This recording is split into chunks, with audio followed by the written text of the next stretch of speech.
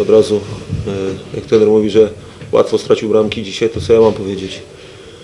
Pierwsza bramka prezent, e, dwie kolejne stałe fragmenty gry, gdzie rozpisane jest krycie. Mm, Przy pierwszej e, Przemek Stelmek nie przykrył, druga zgranie piłki do środka, no i zawodnicy stanęli, nie wiem na co liczyli. E, no niestety, jak się traci trzy bramki, trzy bramki na swoim boisku, trzy bramki daje się przeciwnikowi, mm, bo tak to trzeba dzisiaj określić, no to trudno jest, trudno jest mecz wygrać.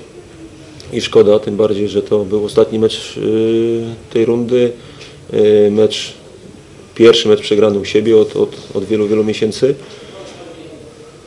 Ale żeby sz- szukać pozytywów w tym wszystkim, no to myślę, że jeden z lepszych meczów rozegranych tutaj w Stalowej Woli tak mojego zespołu, jak i, i, i myślę, że zespół Radomiaka też dzisiaj pokazał dobrą piłkę w, na tych trudnych warunkach, bo naprawdę e, mecz mógł się podobać, takie, takie na gorąco odnoszę wrażenie, było dużo sytuacji bramkowych z jednej i z drugiej strony.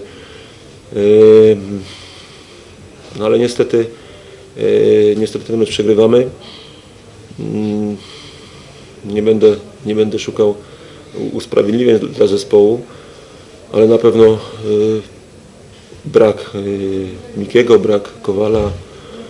Y, Dzisiaj wypadł nam jeszcze y, Michał Bogacz, bo, brak Jabłuszka, tak, ale dzisiaj wypadł jeszcze Michał Bogacz, bo rano zadzwonił, że złapał p- półpaśćca, więc no mówię, mieliśmy swoje duże problemy kadrowe przed tym spotkaniem, ale ci co, myślę, że ci co dzisiaj grali, ci co byli na boisku, pokazali się z dobrej strony, wiadomo.